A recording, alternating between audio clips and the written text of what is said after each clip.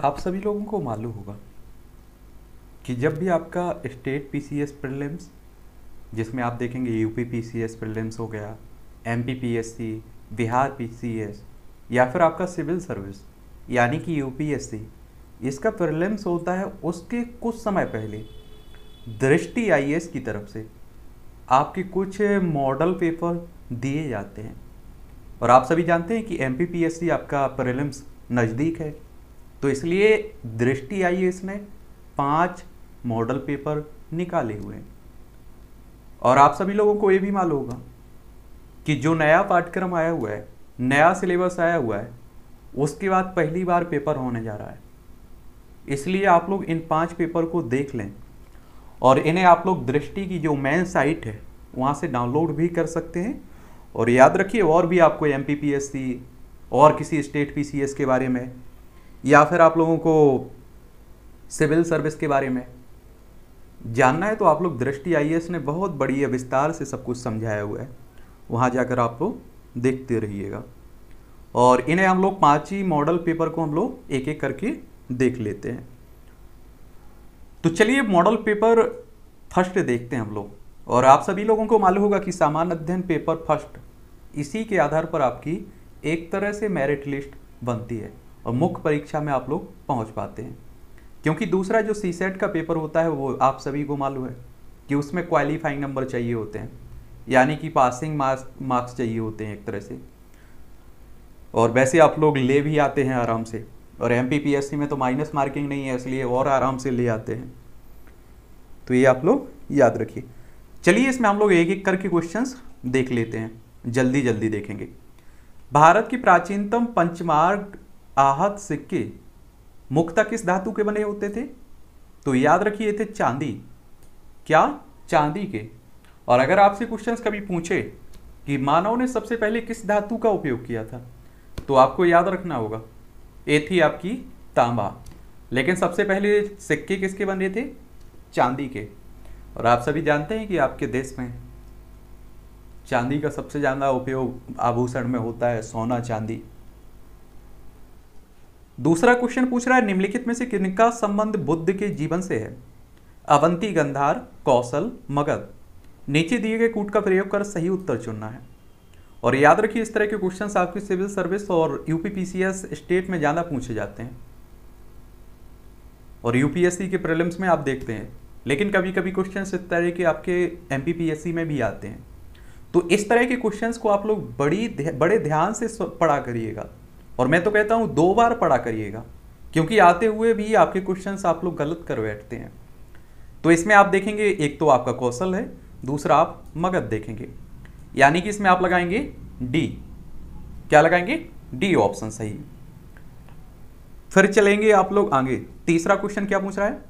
मौर्य काल की वास्तुकला के संदर्भ में निम्नलिखित कथनों में से कौन सा असत्य है? यानी कि सही नहीं है। तो इसमें आप देखेंगे बड़े पैमाने पर पत्थर की इमारतें बनाने का कार्य आरंभ हुआ। पत्थर के स्तंभ राजस्थान में तैयार किए जाते थे। मौर्य शिल्पियों ने ने बौद्ध भिक्षुओं के निवास के लिए चट्टानों को काटकर गुफाएँ बनाई। इस काल में पांडुरंग वाले बलुआ पत्थर के एक ही टुकड़े से बना स्तंभ उन्नत तकनीकी ज्ञान का उदाहरण है। इन चारों ऑप्शन में से कौन सा गलत है? असत्य कौन सा है? तो इसमें आप देखेंगे बी ऑप्शन। क्या होगा? बी ऑप्शन आप लोग टिक करेंगे।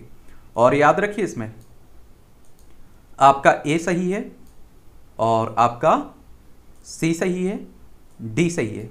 लेकिन इसमें पूछ क्या रहा था वो? असत। तो इसमें आप लोग बी लगाएँगे ऑप्शन ठीक है? अगला क्वेश्चन क्या पूछ रहा है? क्वेश्चन नंबर चार। निम्नलिखित में से किसने प्राचीन भारत पर सबसे पहले आक्रमण किया था? तो आप सभी जानते हैं कि यूनानी थे। यूनानी। क्या? यूनानी। बी ऑप्शन बिल्कुल सही है आपका। पांचवा क्वेश्चन क्या पूछ रहा है? निम्नलिखित गुफाओं का उनके लेखकों के साथ मिलान करना है। निम्नलिखित, माफ़ करिए, पुस्तकों का, गुफाएँ कहाँ से आ गई यहाँ कभी कभी हो जाता है। ठीक है? तो इनमें आप देखते हैं कि डायरेक्ट भी इन क्वेश्चन से ये बुक आ जाती है कि अभिज्ञान शकुंतलम किसकी बुक्स है? इसके लेखक कौन है? तो आप लोग ज़रूर याद रखिए। और आप सभी जानते हैं कि कालिदास की रचनाओं से तो आपके क्वेश्चन हर बार रिपीट होते रहते हैं।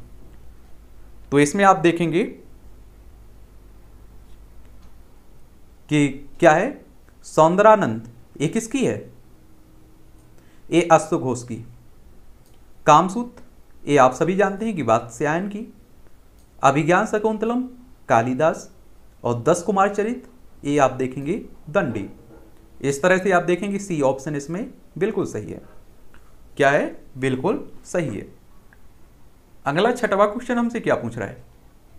निम्नलिखित में से में से इलेक्ट्रॉनिक शॉपिंग का आविष्कार किसने किया था? तो याद रखिए थे माइकल एल्ड्रिच यानी कि छठवे में बी ऑप्शन होगा। इसे डाउनलोड करके आप लोग बड़े आराम से बैठ के देखते रहना, ठीक है? और इसकी पीडीएफ मैंने टेलीग्राम पर भी डाल दी थी।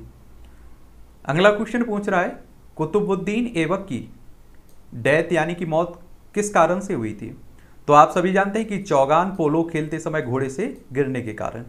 तो इसमें डी ऑप्शन आपका बिल्कुल सही है। अगला क्वेश्चन आठवां, मनसबदारी प्रणाली के संदर्भ में निम्नलिखित में से कौन सा कथन सही नहीं है? क्या पूछ रहा है? सही नहीं है, यानी कि गलत है। तो इसमें आप देखेंगे मनसबदारों को वेतन नगद में ना देकर जागीर के रूप में दिया जाता था? बिल्कुल सही है। वही दस्तावेज़ वही दस्तावेज़ को जमा दामी के नाम से भी जानते थे। ये भी आपका बिल्कुल सही है। शाहजहां के समय मनसबदारी व्यवस्था सुचारू रूप से नहीं चल पा रही थी तो ये आपका गलत है। आगे चलकर मनसबदारों का वेतन सालाना की जगह माहवारी पैमाने पर कर दिया गया था। ये बिल्कुल सही है। लेकिन आप सभी जानते हैं कि इसमें कौन सा सही नहीं है पूछ रहा है। तो आप देखेंगे सी ऑप्शन होगा।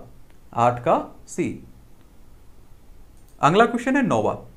ब्रिटिश द्वारा किस भारतीय राज्य का अधिग्रहण कुशासन के आधार पर किया गया था? तो ये तो क्वेश्चन आप देखते हैं, कई बार पूछा जा चुका है, कई परीक्षाओं में। और ये है आपका अवध। क्या है? अवध। नौ में आपका बी क्वेश्चन दस बार है हमारे सामने। ये आपकी संस्थापक हो गए? ये संस्थाएँ हो गई। ये आपसे पूछ लेगा कि सुरेंद्र बनर्जी किस संस्था से जुड़े हुए थे? ये आपसे क्वेश्चन उल्टा करके पूछ सकता है कि इस संस्था के संस्थापक कौन थे? तो आप लोगों को दोनों तरफ़ से याद रखना होगा। सुरेंद्र नाथ बनर्जी, आप सभी जानते हैं कि ये इंडियन एसोसिएशन से जुड़े हुए थे। जस, जस्टिस राणा ने, ये आप सभी को मालूम होगा कि पूना सार्वजनिक सभा से जुड़े हुए थे। M V M V Raghavachari, ये मद्रास महाजन सभा से जुड़े हुए थे। फिरोज शाह मेहता, ये बॉम्बे प्रेसिडेंसी एसोसिएशन से जुड़े हुए थे। यानी कि इसमें आप तीसरा, यानी कि सी लगाएँगे ऑप्शन। क्या लगाएँगे? सी ऑप्शन सही है इसमें आपका। अगर आपसे पूछे कि बॉम्बे पर प्रेसिडेंसी एसोसिएशन के संस्थापक फिरोज मेहता, इंडियन एसोसिएशन सुरेंद्रनाथ बनर्जी, पूना सार्वजनिक सभा इसमें जस्टिस रनानी और महा मद्रास महाजन सभा, एम बी राघवर वीर राघवाचारी, ठीक है? ये आप लोग याद रखिए। अगला क्वेश्चन है ई गवर्नेंस पहल के कार्यान्वयन में उत्कृष्टता को बढ़ावा देने हेतु मध्य प्रदेश के किस विभाग द्वारा पुरस्कार प्रदान किया जाता है? तो याद रखिए, यह विज्ञान एवं प्रौद्योगिकी विभाग। यानी कि ग्यारह में आप लोग सी लगाएँगे। ग्यारह में क्या लगाएँगे? सी ऑप्शन बारहवा क्वेश्चन है, नागर, डेविड और वेसर। ये क्या है आखिर? तो आप सभी जानते हैं कि ये भारतीय मंदिर वास्तुकला की तीन प्रमुख शैलियाँ हैं शैलियाँ हैं, ठीक है? सी ऑप्शन आपका बिल्कुल सही है। बारह में सी पिछन्न बेरोजगारी का सामान्य अर्थ क्या होता है? तो इसका सीधा सा मतलब होता है कि श्रमिकों की जो सीमांत उत्पादकता होती है, वो शून्य होता है, कि काम करने के बाद भी रिज़ल्ट ना आना सीधी सी। अगला क्वेश्चन है, निम्नलिखित में से चौदहवें वित्त आयोग के अध्यक्ष थे। तो ये थे आपके वाई वी रेड्डी और पंद्रहवें की कौन है? आप लोग नीचे लिखिएगा, ठीक है? इसी ऑप्शन में आप देखेंगे तो मिल भी जाएगा आपको। अगला क्वेश्चन हम देखते हैं पंद्रहवा। क्या पूछ रहा है पंद्रह क्वेश्चन? ये आपकी संतियाँ हो गई और ये आपके विषय हो गए। आप सभी देखेंगे कि संतियों से और विषय से भी आपके क्वेश्चंस कई बार पूछ लेता है। ऐसे पूछता है कि रंगराजन समिति का संबंध किससे था? नरसिम्हम समिति का संबंध किससे था? तो ये भी आप लोग बड़े अच्छे से याद रखिएगा। नरसिम आप देखेंगे रंग राजन समिति तो ये आपको मालूम होना चाहिए पीएससी में शेयरों का विनिवेश करने से संबंधित था। नरसिम्हम समिति तो ये आपको मालूम होना चाहिए, बैंकिंग सुधार से संबंधित थी। केलकर समिति केलकर समिति ये कर सुधारों से संबंधित थी मल्होत्ता समिति ये बीमा सुधार से संबंधित थी। तो इसमें आप लोग क्या लगाएँगे? C option. पंद्रह में सी। अगला क्वेश्चन है हमारा सोलह। अर्थव्यवस्था तरलता संजाल में तब होती है जब क्या होता है? जब इसमें बॉन्ड पर दिए गए ब्याज की दर न्यूनतम हो तो ए ऑप्शन आपका सही होगा। राष्ट्रीय मानवाधिकार आयोग के प्रथम अध्यक्ष, पहले, सबसे पहले अध्यक्ष कौन थे? तो ये तो आप लोगों को आंसर रटा होगा। रंगनाथ मिश्रा। सत्रह में सी। क्वेश्चन अठारह। निम्नलिखित में से एम्बर बॉक्स, ब्लू बॉक्स और ग्रीन बॉक्स सब्सिडी संबंधित है। ये सभी आप लोग जानते हैं कि ये डब्ल्यू टी ओ। अठारह में अठारह में डी, आपका ए। याद रखिए इस तरह के जो भी आपके डब्ल्यू एच ओ हो डब्ल्यू टी ओ इस तरह के संगठनों से भी आपके क्वेश्चंस दो चार क्वेश्चंस आते रहते हैं हर बार। तो इन संगठनों को भी आप लोग अच्छे से पढ़ लीजिएगा। अगला क्वेश्चन हमारे सामने। मध्य प्रदेश महिला आयोग की प्रकृति कैसी है? तो आप सभी जानते हैं कि सांविधिक, संविधानिक मतलब होता है सीधा सा कि संविधान के अनुसार उसकी, उस संस्था की स्थापना की गई है। या संविधान के किसी अनुच्छेद में उसका बर्डन आपको देखने को मिलेगा। जैसे आप लोग वित्त आयोग देख लीजिए, चुनाव आयोग देख लीजिए, ये संविधानिक संस्थाएँ हैं। लेकिन ये आपकी संविधिक संस्था है, क्योंकि अधिनियम के तहत एक किसी अधिनियम के तहत एक तरह से इसकी स्थापना होती है। अगला क्वेश्चन पूछ रहा है कि केंद्रीय सतर्कता आयोग में अध्यक्ष सहित अधिकतम सदस्यों की संख्या क्या होती है? तो याद रखिए, तीन। क्या होती है? तीन। अगला क्वेश्चन है, निम्नलिखित में से कौन सा सुमिलित नहीं है, यानी कि गलत है? क्या पूछ रहा है? गलत पूछ रहा है।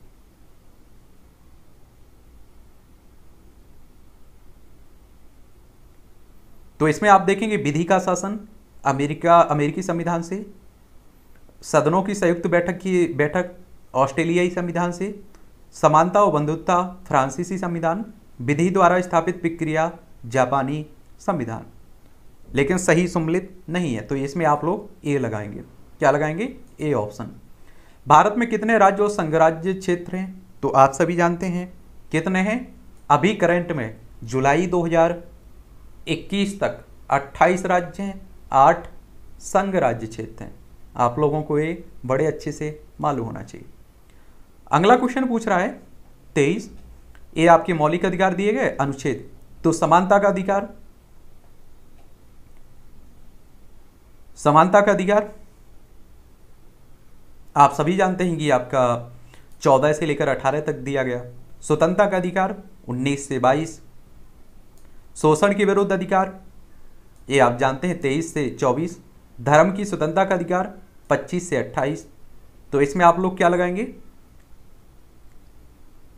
क्या लगाएँगे? ए ऑप्शन बिल्कुल सही है।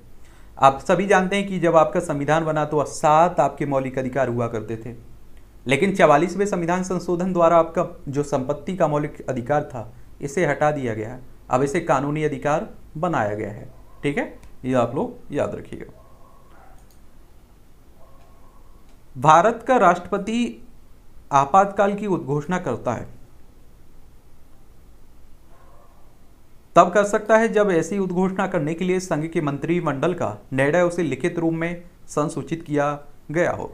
और आप सभी सभी जानते होंगे कि राष्ट्रपति की अपनी कोई शक्ति नहीं होती वास्तव में। क्योंकि आप जानते हैं कि किसी जिस पार्टी के पास बहुमत होता है उसी का पक्ष का एक तरह से राष्ट्रपति चुना चुना जाता है। क्योंकि आप जानते हैं कि जो लोकसभा, राज्यसभा और विधानसभा के जो निर्वाचित सदस्य होते हैं, यही राष्ट्रपति का चुनाव करते हैं। तो आप समझ सकते हैं कि क्या स्थिति रहती होगी। तो ये आप लोग याद रखिएगा। तो मंत्रिपरिषद की सलाह पर ही काम करता है एक तरह से। 25 क्वेश्चन क्या कह रहा है? भारत में राज्यपाल के पद के संबंध में निम्नलिखित में से कौन सा कथन सही नहीं है? क्या पूछ रहा है? सही नहीं है। एक व्यक्ति दो या अधिक राज्यों का राज्यपाल नियुक्त हो सकता है? बिल्कुल हो सकता है। यह विधानसभा अध्यक्ष को संबोधित त्यागपत्र देकर अपना पद त्याग कर सकता है। ये बिल्कुल गलत है। राज्यपाल की नियुक्ति के लिए न्यूनतम 35 वर्ष की आयु निश्चित की गई है। बिल्कुल सही है। राज्यपाल अपना पद ग्रहण करने से अपने पहले उच्च न्यायालय के मुख्य न्यायाधीश के समक्ष शपथ लेता है। तो ये आपका तीनों सही है। ए सी डी लेकिन बी आपका गलत है। लेकिन गलत ही पूछ रहा है इसमें। तो आप क्या लगाएँगे?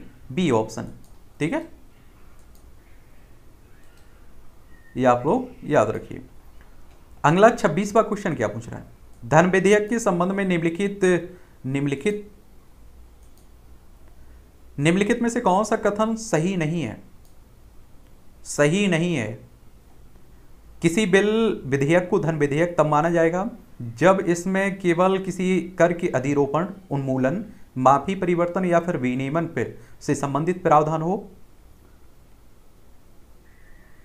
धन विधेयक में भारत की संचित निधि और भारत की आकस्मिकता निधि की अभिरक्षा से संबंधित उपबंध हो।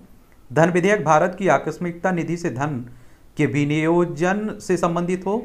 धन विधेयक भारत सरकार द्वारा धन के उधार लेने या कोई प्रत्याभूति देने के विनियमन से संबंधित हो तो इसमें आप याद रखिए, आपका सी होगा गलत। सी सही नहीं, बाकी ए, बी, डी सही है। तो इसमें क्या लगाएँगे? सी, क्योंकि क्या पूछा है? सही नहीं है। ठीक है? सत्ताईस क्वेश्चन। राज्य मंत्रिपरिषद सामूहिक रूप से किसके प्रति उत्तरदायी होती है? ये सभी आपको मालूम होगा, विधानसभा के। और आप देखते हैं लोकसभा में लोकसभा के। निम्नलिखित युगमों में से कौन सा सही सम्मिलित नहीं है, पूछ रहा है। ये आपके अनुच्छेद हो गए, ये संबंधित राज्य हो गए।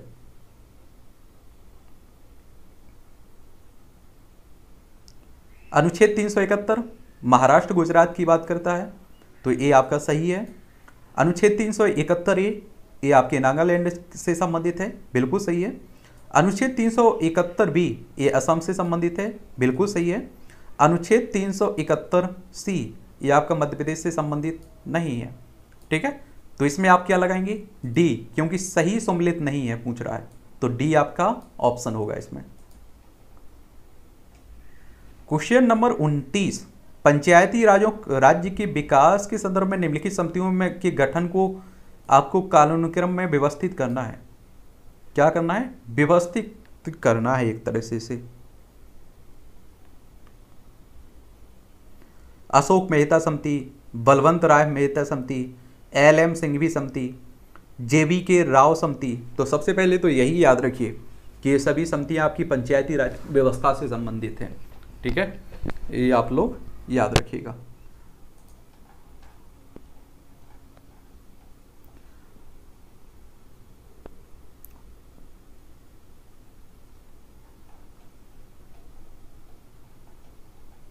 तो सबसे पहले तो आप देखेंगे बलवंत राय मेहता समिति आती है, फिर आपकी अशोक, फिर आपकी जीवी, की राव, फिर आपकी एल एम सिंघवी, ठीक है? दो एक चार तीन। दो एक चार तीन, यानी कि आप लगाएँगे सी ऑप्शन। उनतीस में सी। फिर आता है आपका अगला तीस क्वेश्चन। सूची, एक सूची दो को आपको सम्मिलित करना है। तो एक तो आपके, एक तरफ़ आपको देखने को मिल जाएगा कि भारत के संविधान में संशोधन और विषय, किस विषय से संबंधित है। तो आप सभी को मालूम होगा कि बावनवा संविधान संशोधन अधिनियम उन्नीस सौ पचासी में हुआ था और आप सभी जानते हैं कि ये दल बदल के आधार पर अयोग्यता से संबंधित हुई था। और आप सभी को मालूम होगा कि दसवीं अनुसूची इसी संविधान संशोधन के द्वारा जोड़ी गई थी। और तिहत्तरवा संविधान संशोधन अधिनियम उन्नीस सौ बानबे में आया। ये आपका पंचायती राज से संबंधित था। इकसठवा संविधान संशोधन अधिनियम उन्नीस सौ अट्ठासी की बात है। इसमें आप देखेंगे मतदान करने की आयु, यानी कि वोट डालने की आयु, अठा, इक्कीस वर्ष से कम करके अठारह कर दी गई थी। तो आप समझेंगे कि इकसठवें संविधान संशोधन के पहले अगर आपकी आयु 21 वर्ष हुआ, होती थी, तभी आप लोग वोट डाल पाते थे। आज आप देखते हैं कि आप 18 साल के हो जाते हैं तो आपके पास वोटर आईडी आ जाती है। और उसके बाद आप लोग विधायक हो, यानी कि एमएलए, या फिर आप देखते हैं लोकसभा सदस्य के चुनाव में वोट भी डालते हैं।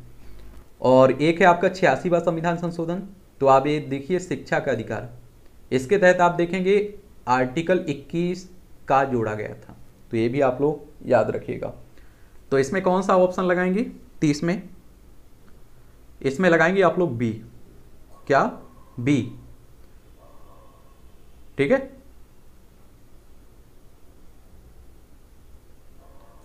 अगला क्वेश्चन क्या पूछ रहा है? इकतीस. भारत सरकार द्वारा मेगा फ़ूड पार्क की अवधारणा को प्रोत्साहित करने का मुख्य उद्देश्य क्या है इसका? तो याद रखिए, इसका मुख्य उद्देश्य है खाद्य प्रसंस्करण उद्योग के लिए उत्तम अवसंरचना सुविधा उपलब्ध कराना और खराब होने वाली पदार्थों की अधिक मात्रा में प्रसंस्करण करने और अपव्यय घटाने हेतु। तो इसमें ए और बी दोनों सही है। यानी कि डी ऑप्शन आप लगाएँगे इसमें, ठीक है? इकतीस में डी क्वेश्चन बत्तीस क्या कह रहा है? रात्रि में आकाश तारे टिमटिमाते हैं। किस कारण से टिमटिमाते हैं? तो ये तो आप लोगों को रटा होगा। तापमान के परिवर्तन के कारण वायुमंडल का अपवर्तनांक बदल जाता है। तैतीस क्वेश्चन तैतीस क्या पूछ रहा है? किसी शुष्क सेल में विद्युत का उत्पादन होता है। ये भी आप लोगों को मालूम होगा, रासायनिक ऊर्जा से होता है। ए ऑप्शन बिल्कुल सही है। अगला क्वेश्चन है हमारे पास। चौतीस। एल आई जी ओ का क्या मतलब होता है इसका? तो इसका मतलब होता है laser interferometer, gravitational wave observatory. तो इसमें आप लोग चौंतीस में ए लगाएँगे। ठीक है? अगला क्वेश्चन है हमारे साथ। पैंतीस। सूची एक, सूची दो को सम्मिलित करना है। ए अम्ल के नाम हो गए और जिसमें पाया जाने वाला, जिसमें पाया जाता है वो हो गया। तो फॉर्मिक अम्ल क्या है? फॉर्मिक अम्ल आप सभी जानते हैं चीटी के डंक में होता है। कैल्शियम हाइड्रोक्साइड, ये आप देखते हैं चूने के पानी में। टार्टरिक अम्ल साबुन में, माफ़ करिए, साबुन में नहीं, इमली में। देख रहे हैं, इस बार इस तरफ़ चार ऑप्शन दे दिए, इस तरफ़ पाँच ऑप्शन दे दिए। तो टार्टरिक अम्ल आपका इमली और अंगूर में सोडियम हाइड्रोक्साइड ये आप देखेंगे साबुन में, ठीक है? तो इस तरह से पांचवा तो आपका खाली ही, हो गया, रह गया। देने का मतलब क्या रहा है इनका? मुझे यही समझ में नहीं आया। चलिए कन्फ्यूज़ करने के लिए दे देते हैं। तो इसमें आप लोग पैंतीस में ए लगाएँगे। छत्तीस क्वेश्चन क्या पूछ रहा है? निम्नलिखित में से कौन सा विटामिन और उसकी कमी वाला रोग सम्मिलित नहीं है? तो राइबोफ्लेविन इससे क्या होता है? स्कर्वी रोग नहीं होता है। नियासिन, फिलाग्या या चर्मग्राह, ये होता है। कैल्सीफेरोल अस्थि रोगता टोकोफेरोल, जनन क्षमता की कमी। तो इसमें आप लोग ए गलत होगा, ठीक है? क्या होगा? ए गलत होगा। छत्तीस में ए सैतीस। वन्ना क्राई, पेट्या, इंटरनल बिलू, पद जो समाचारों में उल्लिखित रहते हैं, निम्नलिखित में से किससे संबंधित हैं ये? ये आपकी हैं साइबर आक्रमण से, साइबर हमले से। आप देखते रहते हैं, साइबर अटैक होता रहता है, उसी की बात हो रही है।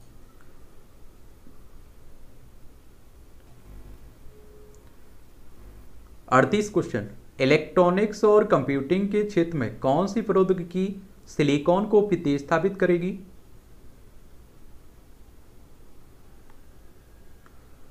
Carbon nano tube C N T को पतली फ़िल्म ट्रांजिस्टरों के साथ जोड़ा जाना है। यानी कि बी ऑप्शन आपका बिल्कुल सही होगा इसमें।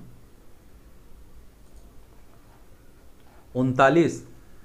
मध्य प्रदेश के किस ज़िले में रेलवे स्लीपर बनाने का कारखाना है? ये तो आप रटा होगा आपको, सीहोर। ठीक है, डिस्ट्रिक्ट है आपका, जिला है एक, सीहोर। मांडू में अवस्थित नहीं है। मांडू में क्या अवस्थित नहीं है? हिडोला महल है, जहाज़ महल है, रूपमती महल है, लेकिन जहांगीर महल नहीं है। तो इसमें क्या लगाएँगे आप लोग? D option. इकतालीस, मध्य प्रदेश का अधिकतम अनुसूचित जाति प्रतिशत वाले ज़िले कौन से हैं? अनुसूचित जाति पूछ रहा है, अनुसूचित जनजाति नहीं पूछ रहा है, ये आप लोग ज़रूर याद रखिएगा। इसमें आप देखेंगे झाबुआ, अलीराजपुर, मंडला, इकतालीस में आपका बी, झाबुआ, अलीराजपुर, मंडला। मध्य प्रदेश का सबसे बड़ा गुफा समूह कौन सा है? तो ये तो आप लोगों को मालूम होगा, भीम बैठका की गुफाएँ। मध्य प्रदेश में पंचायती राज अधिनियम सर्वप्रथम कब लागू हुआ? उन्नीस सौ बासठ में। उन्नीस सौ बासठ में। लेकिन याद रखिए, और आपका जो पंचायत तिहत्तरवा संविधान संशोधन हुआ था, वो सबसे पहले आपका मध्य प्रदेश में ही लागू हुआ था। तो ये भी आप लोगों को याद रखना हो। ठीक है? अगर आपसे पूछे कि तिहत्तरवा जो संविधान संशोधन हुआ था, ये सबसे पहले किस राज्य में लागू हुआ था इसके तहत तो याद रखिए, मध्य प्रदेश ही था, एमपी।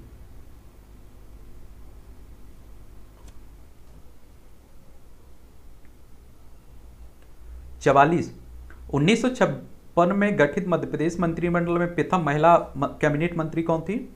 ये थी आपकी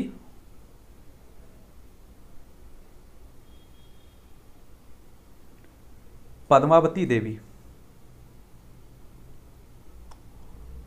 चवालीस में आपका ए। क्षेत्रफल की दृष्टि से मध्य प्रदेश का सबसे बड़ा संभाग क्षेत्रफल की दृष्टि से, जबलपुर, और जनसंख्या की दृष्टि से इंदौर। माँ शारदा के मंदिर के लिए प्रसिद्ध मेहर निम्न में से किस ज़िले में आता है? सतना में। किसमें सतना में। ये आप लोग ज़रूर याद रखिए। कहते हैं कि यहाँ जो मनौती हो, मांगी जाती है, वो मिलती है। जाके देख लीजिएगा। मध्य प्रदेश का राष्ट्रीय उद्यान काना किस लिए किस ज़िले में है? ये आप सभी जानते हैं। मंडला में। सैतालीस डी। नरेंद्र हिरवानी का संबंध? क्रिकेट से। किससे? क्रिकेट से। उनचास, निम्नलिखित में से कौन सा स्टेडियम रीवा में है? ठाकुर रणमत सिंह स्टेडियम। बड़े ही सरल क्वेश्चन हैं।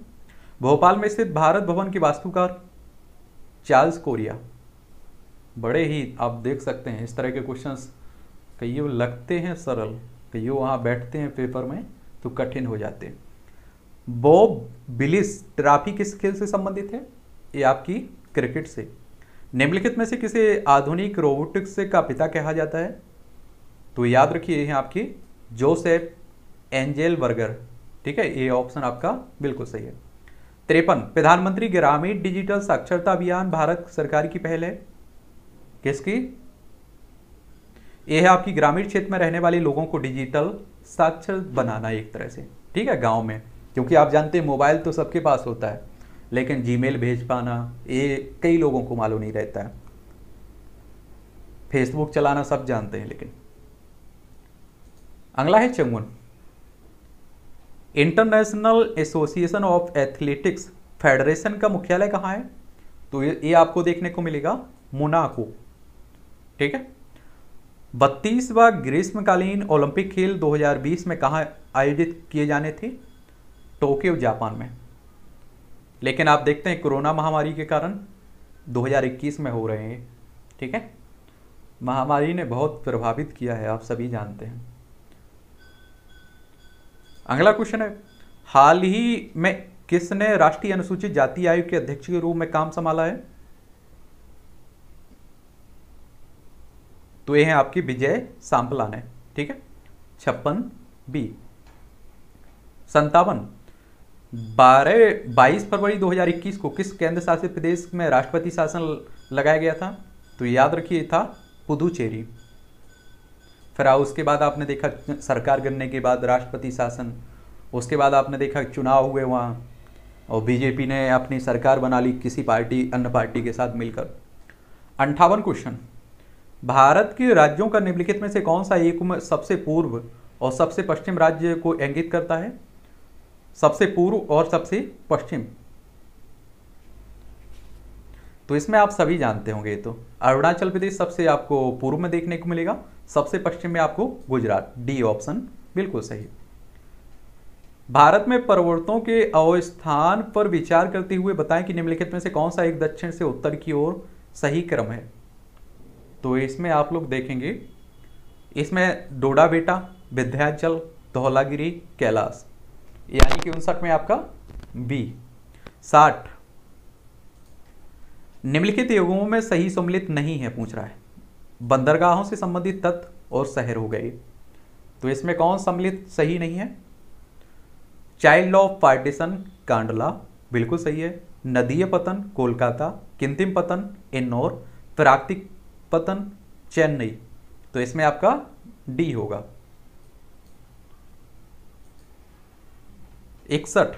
निम्नलिखित में से कौन सा एक पश्चिम की ओर बहने वाली नदियों का और उनकी नदी बेसिनों के घटते आकार के आधार पर सही अनुक्रम है? इकसठ।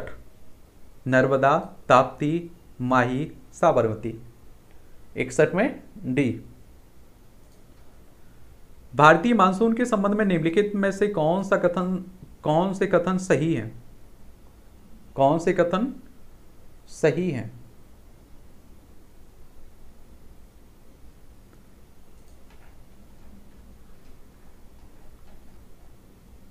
ये तीन कथन दिए गए और नीचे ऑप्शन है आपके। चेरी बिलोसम, कर्नाटक में मानसून पूर्व बोछार का विशिष्ट विकार है। मानसून में विभगता और अंतराल जेट प्रवाह की गतिशील प्रकृति के कारण आते हैं। तमिलनाडु, तटीय आंध्र प्रदेश के भाग और कर्नाटक के भाग में उत्तर पूर्वी मानसून यानी कि लौटते हुए मानसून के कारण वर्षा होती है। भारतीय उपमहाद्वीप का यह भाग उत्तर पूर्व पवन तंत्र द्वारा प्रभावित होता है। तो बिल्कुल सही है, तीनों आपके बिल्कुल सही है ये। तो इसमें आप लोग क्या लगाएँगे? D option.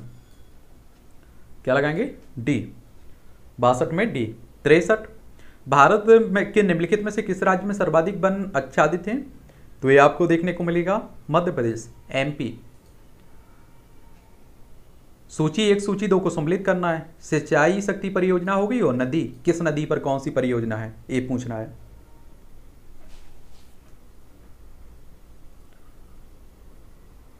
भागड़ा नांगल, ये आप जानते हैं, भागीरथी पर है। दो, दुलहस्ती, ये आप सभी को मालूम होगा, चंद्रा नदी पर है। हीराकुंड महानदी पर, टेहरी सतलज नदी पर। इसमें आप लोग सी लगाएँगे। जनगणना 2011 के अनुसार लिंगनपात के संबंध में भारत में राज्यों का सही अवरोही क्रम क्या है? और याद रखिए, जनगणना से आपके दो, एक दो क्वेश्चन आते रहते हैं। इन सबको हम लोगों ने विस्तार से पढ़ा हुआ है। तो पढ़ लीजिएगा आप लोग। आंध्र प्रदेश, उत्तराखंड, पश्चिम बंगाल और मध्य प्रदेश। मध्य प्रदेश में 931 आप लोग देखते हैं। और सबसे अच्छा लिंगनपात है आपका केरल का और सबसे बुरा हरियाणा का। ये भी याद रखिए। छियासठ। वीडियो कॉन्फ्रेंसिंग क्या है? तो आप सभी जानते हैं, ये तो करते रहते हैं। दूर संचार प्रौद्योगिकी का उपयोग करते हुए वीडियो कॉल का परिचालन करना। ठीक है? सूची एक, सूची दो को सम्मिलित करना है आपको। सूची एक, सूची दो को क्या करना है? सम्मिलित करना है।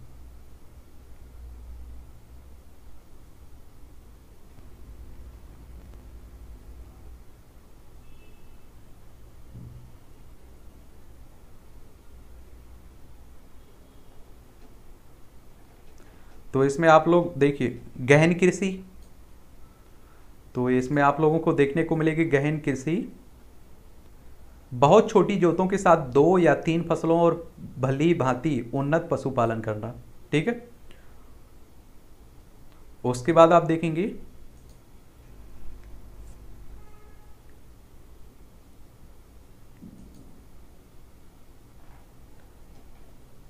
विस्तृत कृषि, बड़े आकार के जो खेतों के साथ उच्च यंत्रीकृत करना, ठीक है?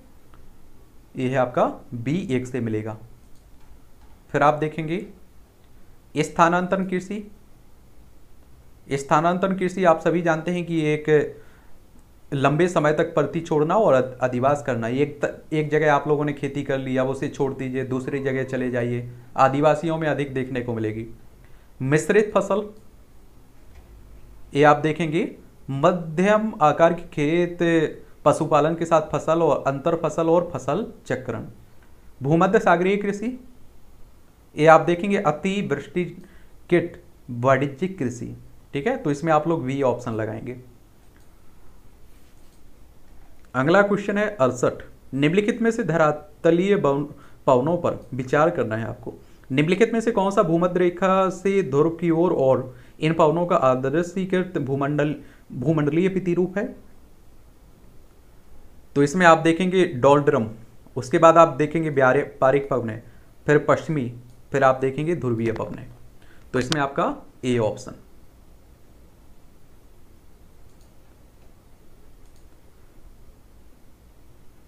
निम्नलिखित में से कौन सा एक परितंत्र इकोसिस्टम के अंतर्गत अजैविक घटक नहीं है?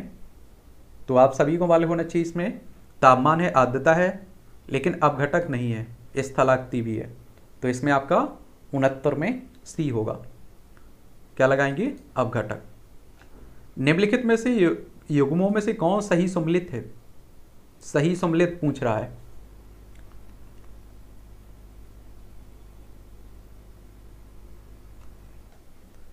माधव गाडगिल समिति पश्चिमी तटों का पश्चिमी घाटों का संरक्षण से संबंधित है, बिल्कुल सही है। इंजेती श्रीनिवास समिति राष्ट्रीय खेल कोड से संबंधित है। कस्तूरी रंगन समिति पश्चिमी घाटों के संरक्षण से संबंधित है। तो इसमें आप लोग डी ऑप्शन लगाएँगे। सत्तर में आपका तीनों सही हैं, बिल्कुल। इन्हें भी रख लीजिए। परपोषी पोषण के प्रकारों को उनके विवरण के साथ सम्मिलित करना है आपको। ये परपोषी पोषण है और ये विवरण के प्रकार हैं आपकी। इनमें क्या पूछ रहा है?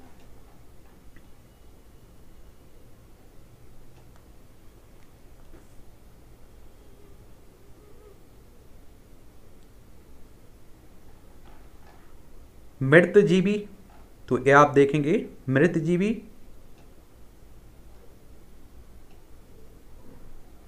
बे, ये बे घटक होते हैं जो अन्य मृत जीवों के शरीर से जटिल जटिल कार्बनिक पदार्थों का विघटन कर अपने उपयोग के लिए ऊर्जा मुक्त करते हैं। इन्हें आप लोग क्या कहते हैं? मृत जीवी ठीक है? परजीवी। परजीवी कौन होते हैं? तो ये परजीवी वो होते हैं जिन्हें आप देखें कि अन्य सजीवों के अंदर या उनके ऊपर, जिन्हें आशय दाता कहा जाता है कि निवास करते हैं उनके ऊपर और उनके आशय और पोषक तत्वों, तत्व प्राप्त करते हैं उनसे, ठीक है? और सह, सहजीवी सहजीवी, ये आप देखेंगे सहजीवी नाइट्रोजन स्थिरीकरण जैसे लेगियोम, में बात करते हैं, ठीक है? और कीट भक्षी कीट भक्षी। ये आप देखेंगे घटपर्णी पौधा। तो इसमें क्या लगाएँगे? सी। इकहत्तर में सी। इन्हें डाउनलोड करके आराम से बैठ के देखते रहा करिएगा। ये आपकी सूची, एक सूची दो को सम्मिलित करना है। वन्यजीव अभ्यारण हो गए और ये राज्य हो गए आपके। तो इनमें आपको बताना है। डालमा। डालमा, ये वन्यजीव अभ्यारण कहाँ देखने को मिलेगा? ये आपको देखने को मिलेगा झारखंड में। भीतर कनिका, ये आप सभी जानते हैं कि उड़ीसा में भी देखने को मिलेगा। पचमढ़ी, ये मध्य प्रदेश, वायनाड, ये केरल में। यानी कि इसमें आप लोग ए ऑप्शन बिल्कुल सही है बहत्तर में। क्वेश्चन तिहत्तर। क्या पूछ रहा है? फरवरी 2021 में भारत के किस शहर में देश का पहला बेटलैंड संरक्षण प्रबंधन केंद्र खोला खोलने की घोषणा की गई है?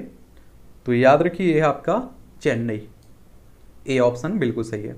हाल ही में सौ फ़ीसदी साक्षरता के लक्ष्य को प्राप्त करने वाला देश का पहला जिला कौन सा है?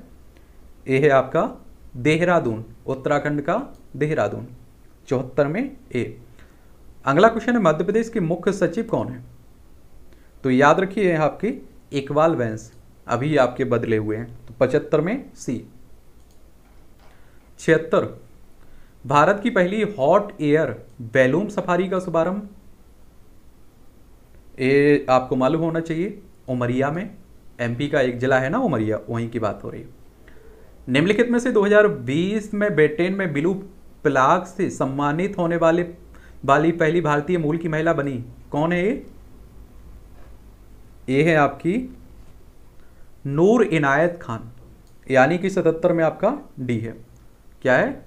डी मध्य प्रदेश कैबिनेट ने आदिम जाति कल्याण विभाग का नाम बदलकर क्या कर दिया गया है? तो इसका नाम रख दिया गया जनजातीय कार्य विभाग।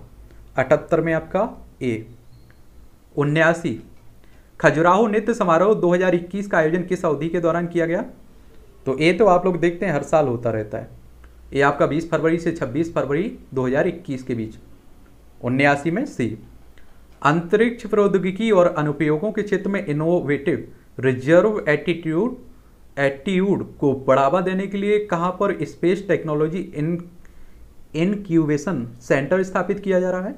तो याद रखिए आपका राउर केला में, ठीक है? अस्सी ए इक्यासी, भारत के मुख्य निर्वाचन आयुक्त की पदावधि तो ये आप सभी जानते होंगे। ये आपका है छह वर्ष या पैंसठ वर्ष की आयु, जो भी पहले हो, उस हिसाब से हटेगा। ठीक है? देखिए, मैंने तब भी बोला था आपसे कि जो आपके नए एक तरह से टॉपिक बताया गया है, इन टॉपिक से क्वेश्चंस तो पहले भी पूछे जाते थे। लेकिन आपने दे दिया कि इस बार उन्होंने क्लियर कर दिया कि मैं संस्थानों से क्वेश्चंस पूछेंगे। तो मुझे लगता है कि कम से कम सात आठ क्वेश्चंस तो आने की पूरी संभावना है इनसे। इनडायरेक्ट डायरेक्ट इनसे आपके सात आठ क्वेश्चंस ज़रूर पूछेगा। क्योंकि आप देखते थे कि जब आपके तीन एक्ट जुड़े हुए थे तो कभी कभी उससे 20-22 क्वेश्चंस भी पूछता था। तो सभी संगठनों को आप लोग एक बार अच्छे से कवर कर लीजिएगा। बहुत ही सरल सभी संगठन है। आप लोग एक से दो बार अगर अच्छे से पढ़ते हैं तो कंप्लीट भी हो जाते हैं एक तरह से। संघ लोक सेवा आयोग के वर्तमान अध्यक्ष, ये भी आप लोगों को मालूम होगा। प्रदीप कुमार जोशी, ठीक है? बयासी आपका ए तेरासी, निम्नलिखित में से किस कर्तव्य का बे कर्तव्य का भारत की कैग सीएजी द्वारा पालन किया जाता है। तो ये आप देखेंगे सार्वजनिक धन को, धन की प्राप्ति और निर्गम का नियंत्रण करना और यह सुनिश्चित करना कि सार्वजनिक राजस्व राजकोष में जमा हो। यानी कि तेरासी में आपका डी नीति आयोग से संबंधित इनमें से कौन सा कथन सही नहीं है? क्या पूछ रहा है? सही नहीं है। भारत के प्रधानमंत्री नीति आयोग के पदेन अध्यक्ष होते हैं, बिल्कुल सही है। और आप सभी जानते हैं कि पहले योजना आयोग हुआ करता था। योजना आयोग को भी एक, को ही एक तरह से स्थापित पिति स्थापित करके आपका नीति आयोग आया हुआ है एक जनवरी 2015 में। ठीक है? ये आप लोग याद रखिए इनसे क्वेश्चन आता है। ये सही है आपका। नीति आयोग का उद्देश्य सतत विकास लक्ष्यों को प्राप्त करना और देश के सहकारी संघवाद को बढ़ावा देना है। बिल्कुल सही है। नीति आयोग में साठ पूर्णकालिक सदस्य होते हैं ये आपका गलत है सी। यह कार्यकालीन संकल्प द्वारा सृजित निकाय है। ये आपका सही है। तो चौरासी में याद रखिए सी ऑप्शन आप लगाएँगे क्योंकि गलत पूछ रहा है। राष्ट्रीय बाल अधिकार संरक्षण आयोग के अध्यक्ष पद के लिए इनमें से योग, क्या योग्यता होनी चाहिए? तो याद रखिए बाल कल्याण संवर्धन के लिए कार्य किससे जुड़े हुए हों? एक तरह से। पचासी में आपका सी। छियासी मध्य प्रदेश की प्रथम खेल नीति। प्रथम पूछ रहा है। तो याद रखिए ये थी उन्नीस सौ नवासी में। ए ऑप्शन बिल्कुल सही है। सतासी, प्रसिद्ध भारतीय परमाणु भौतिकी वैज्ञानिक एवं यांत्रिकी अभियंतक अनिल काकोदकर का जन्म स्थान? तो ये थे आपके बड़वानी से। कहाँ से? बड़वानी एमपी में ही पड़ता है। ठीक है? भारतीय आयुर्विज्ञान अनुसंधान परिषद का मुख्यालय, ये आप देखेंगे नई दिल्ली में। कहाँ? नई दिल्ली में।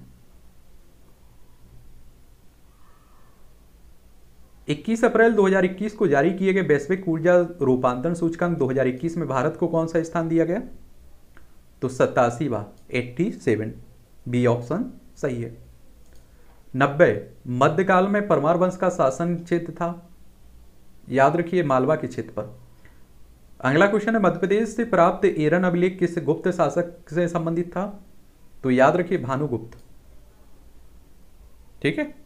सती पिथा के एक तरह से अब इसमें साक्ष्य मिलते हैं। नर्मदा सोन घाटी कहाँ स्थित है? ये आप देखेंगे मालवा और सतपुड़ा के बीच में। डी ऑप्शन आपका सही है। थांगटा किस राज्य का मार्शल आर्ट है?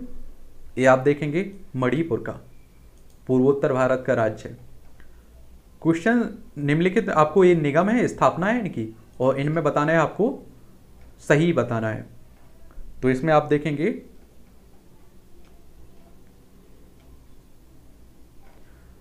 Madhya Pradesh state cooperative Madhya Pradesh state cooperative dairy federation limited 1980 में इसकी स्थापना हुई थी। मध्य प्रदेश लघु उद्योग निगम 1961 में मध्य प्रदेश वस्त्र निगम उन्नीस मध्य प्रदेश राज्य वन विकास निगम 1975 में। एक क्रम से लगे ही हुए हैं। तो इसमें आप लगाएँगे सी ऑप्शन, बिल्कुल। क्वेश्चन है पंचानवे। मध्य प्रदेश में सबसे बड़ा आकाशवाणी केंद्र कहाँ स्थापित किया गया था? तो ये आप देखेंगे, इंदौर में सबसे पहले भी किया गया था मध्य प्रदेश में सबसे पहले इंदौर में ही। मध्य प्रदेश सड़क परिवहन निगम की स्थापना कब की गई थी? तो याद रखिए, एक जून उन्नीस सौ बासठ में। बी ऑप्शन सही है। सांस्कृतिक समारोह हैं। मध्य प्रदेश के सांस्कृतिक समारोह और आयोजन स्थल कहाँ कहाँ होते हैं? तो ये भी आप लोग, ये भी क्वेश्चंस कई बार पूछ लेता है इनसे।